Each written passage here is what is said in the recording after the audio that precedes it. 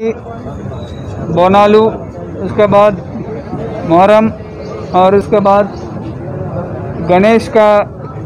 ये जो त्यौहार है, इसके नज़र में रखते हुए आज दबीरपुरा पुलिस स्टेशन में पूरे मीर चौक एरिया के पूरे सस्पेक्ट्स और रोडी शीटर्स सौ से ज़्यादा लोग को आज बुला के काउंसलिंग किया गया। उनको बताया गया कि पिछले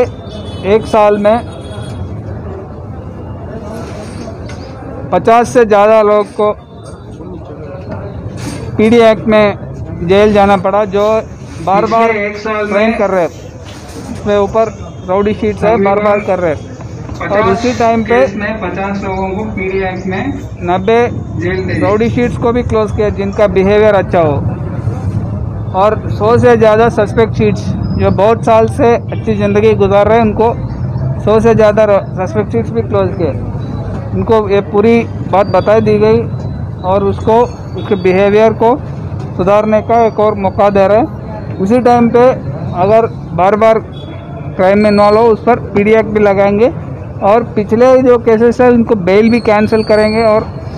मजिस्ट्रेट से भी हम बात करें कि ये राउडीज़ का जो केसेस है, उनको जल्दी से जल्दी ट्रायल करें और उसको सज़ा मिले।